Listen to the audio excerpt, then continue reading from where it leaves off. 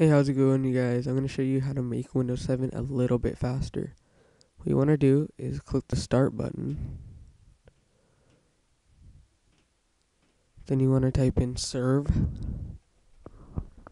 And then you want to go to the top and click Services. Services.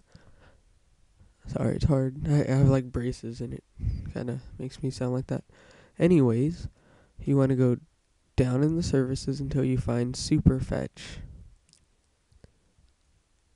Then you want to click it, go to Properties, right click Properties. Then Startup Type Manual. And then click Stop and Apply. Then OK.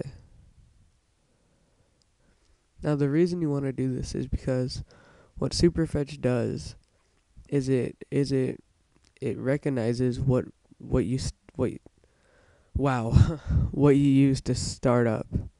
Like let's say I always start up solitaire or something. Superfetch will recognize that and make solitaire it will cache it. So whenever you start up solitaire to make it way faster not way faster but a little bit. But while but superfetch does take up a lot of CPU or RAM.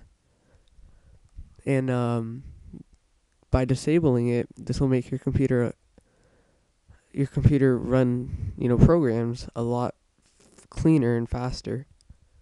So, thanks for watching. Subscribe, comment, rate if this helped a little.